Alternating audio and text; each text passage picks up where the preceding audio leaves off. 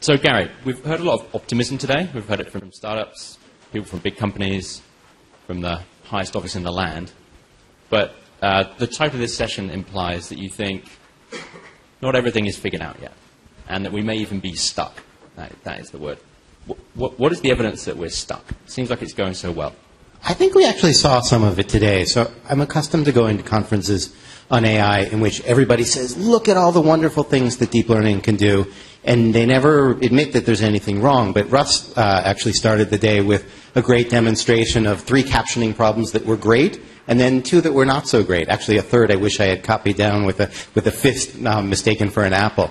Um, usually I have to give those because people don't actually um, give the counterexamples. And then Scott, I think, gave some, some great examples. Um, Geometric had worked on some similar things, showing how easy it is actually to break the um, deep learning systems of DeepMind in the Atari game context. So I was a little worried, actually, when Max put up the um, the demo of the breakout session and you know there's a little caption from DeepMind saying and now it like learns that you need to break through a wall. Well that's not really true. That's an abstraction that we superimpose on the system. But the reality is it's learning a bunch of regressions about pixels more or less. Um, and so it's, it is easy to break it. You change the, the light intensity. Um, we had a skiing game in my old company where we moved the trees around and the whole thing falls apart. So there are lots of ways in which deep learning is really not the right tool when you need to get to abstraction. It's great for certain kinds of perceptual classification. Now, that doesn't mean that it's stuck, just, just can't do those particular things. But I think the reality is it is stuck, that most of the field is obsessed right now with classification, and we have some pretty good tools.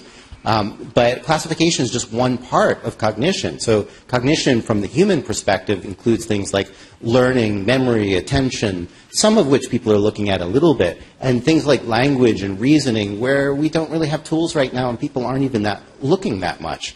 So people in the field of deep learning are fond of talking about local minima. It's a technical problem that you have to deal with. Um, so, you know, you have a system that tries to find some solution. It gets to the best thing that's locally available. It doesn't get any further. I'm worried that the field is headed that way. So there, there's like incremental improvement each year in speech recognition, but that doesn't mean we're on the right path to artificial general intelligence. You know, artificial general intelligence has been around for 60, or artificial intelligence rather, has been around for 60 years. But if you even had data to plot on artificial general intelligence, I would say that there's not so much of a slope there. Oh, okay. And so why, why has the field become preoccupied with classification and deep learning too, too much? Is it that people just don't listen to Gary Marcus enough? Definitely. Or is there, is there some kind of, I don't know, unhealthy mindset that has developed?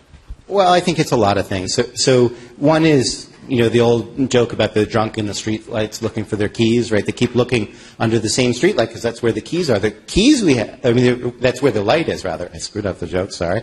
Um, rewind and edit that. Um, so people are looking where the street light is, and, you know, deep learning is a very powerful searchlight, and so people are tempted to, to look underneath it.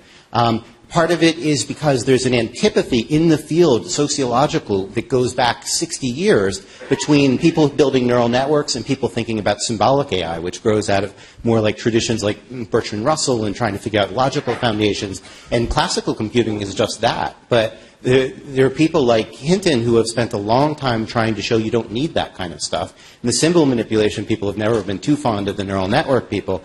And maybe what we need to do now is to build some kind of marriage between the two. But, you know, typical grad student learns one tradition and not the other. I was at a NIPS conference on a, panel with, I don't know, uh, maybe Yann LeCun was there, and some, some other pretty well-known people. The room was packed. It was bigger than this room, like twice as deep as, as this room. And I said, how many people here have heard of Cyc? Not how many you like it, but how many had actually heard of Cyc? We could replicate that here. How many people know what Cyc is? That's not a lot, and it's sort of similar to the reaction that I got at this NIPS workshop. Right? Cyc is the most valiant effort anybody has ever made to put common sense in computable form for machines to use. And I would argue, I think most people would argue, it hasn't been that successful. There's no great commercial product that's come out of it. It's still incomplete. But what Lenat was trying to do was to have ways for machines to reason about everyday things, like, you know, this is a microphone, and microphones are solid objects, and if I put it here, it might, um, you know, be stable, I something else is going to happen. Um, we don't have other systems that can do that. So it's fine to say Lenat failed, but either you need to say, here's another way we're going to get to what he's doing, or here's what's wrong with what he did, or something. But most people in the field have never heard of it. This is a project that was 1,200 person years working on, I think, one of the most central questions in AI, and the whole field of deep learning doesn't even know about it. And so if people don't know about it, they don't know their history, that's a problem. Okay. And one concept you started talking about recently is this, the idea that AI systems need to have more innate capabilities. And you recently spent two hours debating your longtime friend and sparring partner, Yann LeCun, at NYU. I'm sure most people in this room have watched all two hours of that debate, but just in case. You really should. It's worth it. Just, you can find it on YouTube. I, I have watched all two hours and it was great just in case there are people here that haven't seen it, can, can you summarize the discussion you were having and, and, and, the point you were trying to make? So, I mean, the, the question is the old nature-nurture debate. And the first thing I would say is it's not nature versus nurture. Anybody who's really thought about this realizes that nature and nurture work together. Um, we transpose that old debate about the roles of nature and nurture into AI and ask the same question. So, um, you know, the John Locke position is you can learn everything from the data. And the Plato version, or the Liz Spelke or Noam Chomsky version, or my version, is you need some strong starting points in order to be able to learn what you need to learn. If you don't have those strong uh, starting points, you might, for example, never actually abstract the notion of an object, and then you can't learn about relations between objects if you don't have a genuine relation of an object, and then you're left um, with, in playing breakout the way Scott showed you. If you don't really know what an object is, and I changed the intensity of the pixels, you're kind of in trouble. So I argued that we need, I think, about 10 starting points um, which were things like operations over variables, which is what computer programs are built out of, uh, tra- transformational invariance, which is actually what Yann LeCun is most famous for, even though people don't talk about it that way. Um, but knowing that objects in, in um, can be in the same, uh, the single object can be in different places and it has the same shape. Um, so I had this list of 10, which you, you, can see in the debate. And to my surprise, Yann didn't want to go on board for any of them, even the one that he had invented. He said, we don't need any of these things um, to be innate. Uh, but you know, my contention is, if you look around at what's happened, and this was written, uh, or uh, this talk was given before DeepMind had its most recent paper. We might want to talk about that in a second. But my contention is, if you look at the systems that work, people often build in innate stuff in the back door. It's still actually there doing a bunch of the work, and that you know, there's good reason to think biology has a lot of innateness. Half of our genome, or actually 99% of our genome is represented in the brain. Like a lot of what the genome is there for is to build those strong starting points. So why would you try to get rid of all of that um, when you're building your AI? I think there's, again, a sociological bias. People think it would be so cool if we had AI boiled down to four equations we could put on a t-shirt, like physics. That would be fantastic. But if you look at how biology works, it actually accretes lots of systems. And we talked about Danny Kahneman earlier today. I mean, his, one of his famous contributions is kind of system one and system two. That they're calibrated to different things. One of them is a reflexive system that behaves automatically, and the other tries to do something more like deliberation. They work on different principles. And to imagine you're just going to get one system that handles all of the breadth of cognition, not just the perceptual side, but all the reasoning side, I think that's silly. Okay, and let's take the example of AlphaGo Zero. I mean, it seems like every other session on stage has mentioned it, so now we can do it. We might as well do it too.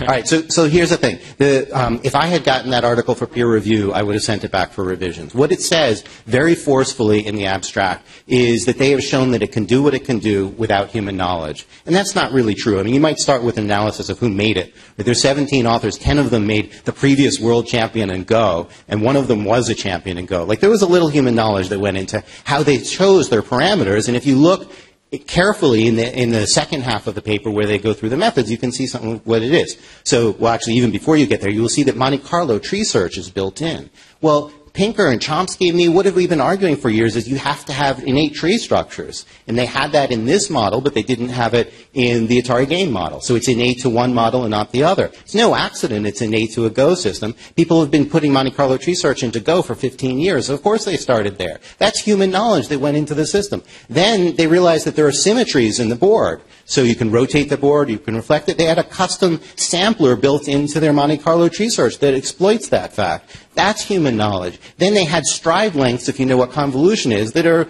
you know, designed to work for the board. If you change the stride length, it might not work as well. You go through, you know, there's lots of little parameters, how many steps they're going to look out, where probably there was actually some, some human tuning. What would have been really exciting would have been if they took some generic algorithm that didn't have Monte Carlo tree search built in, and it actually figured that out from looking at pixels. And we also had someone make a point earlier um, about it has the board, um, you know, abstracted. So there was actually a lot of human knowledge. So it's a great piece of engineering.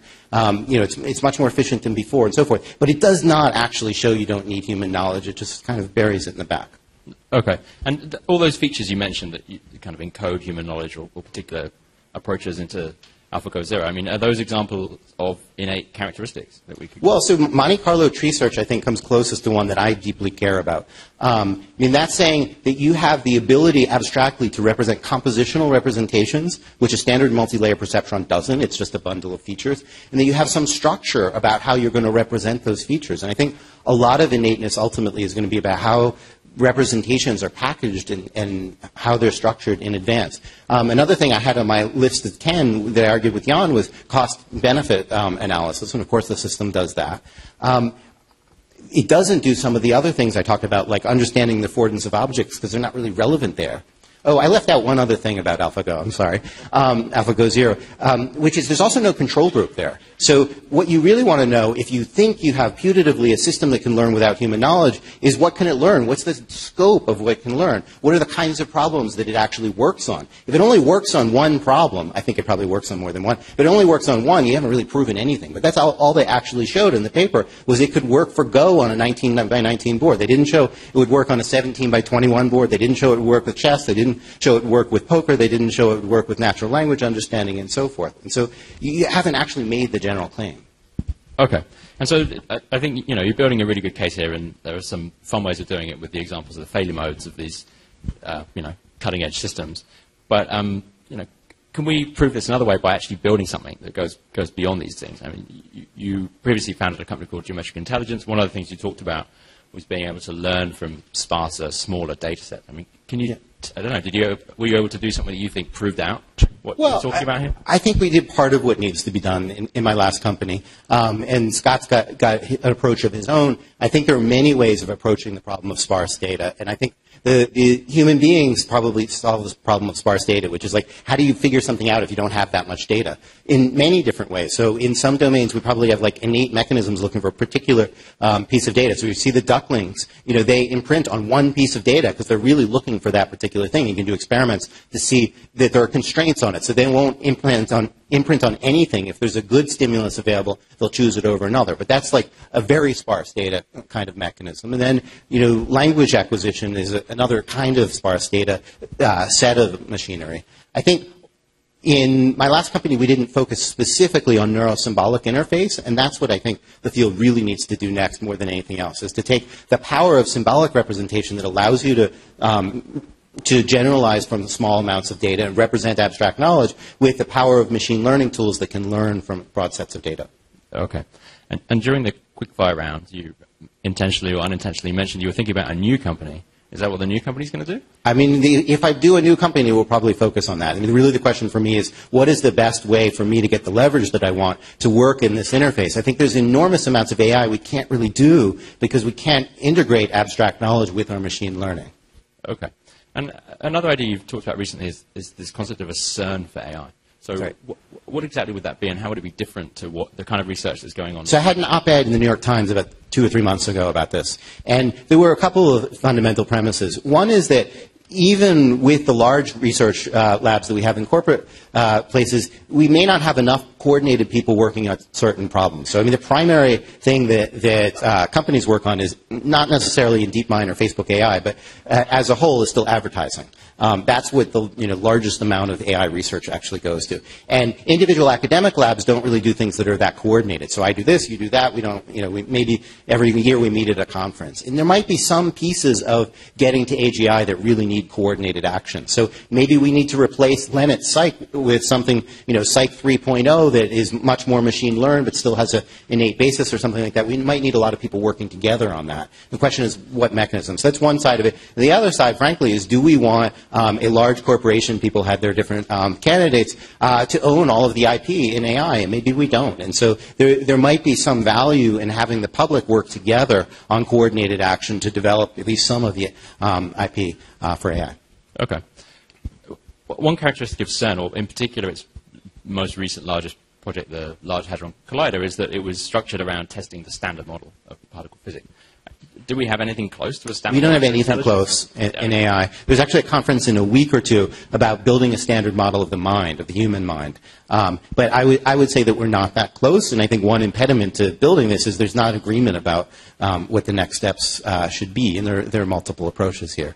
Um, I mean, I have my own views about a sort of space of possible models, and I think everything is kind of tucked away in one corner, and there's lots more to look at. But I, I would, I would say that there isn't consensus. Okay, and I think we've got time for one last question here. So during your conversation with Yann earlier this month, he, he said at one point, I think he said this before, uh, that he would be happy if by the end of his career he could build a system with the common sense of a cat. So I think it was a rat, maybe. a, uh, he actually revised it. Oh, He- did- He says a rat and then he switched it to cat. So he's, up, he's raised the bar. Uh, where is your bar? Like by the end of your career, wh- where would you like to be uh, on that? I, I mean, I guess I kind of agree with him at some level. I think that common sense reasoning about everyday objects and the affordance of everyday objects, if we could nail that, I think it would be great. So a cat knows, you know, where it can jump. It's really good at integrating uh, a lot of navigation. It can do it in very different environments than it's ever um, seen before. I mean, I don't know all the cat experimental literature, but I'm pretty sure, you know, you could you can find that they're pretty versatile. Um, and in general, one of the biggest problems in AI right now is transfer. So you learn something in one context, one lighting value, and then you change the lighting value, and it doesn't doesn't work anymore. Um, I mean, that was a particular example with, with the, the um, breakout thing. It's not always true, but the general truth is we haven't solved transfer at all. And I think that animals can do a lot of transfer. If we could we could match that, I think that that would be pretty exciting. Okay, well, Gary, thanks for your time. That will be. Uh, Thank you very much.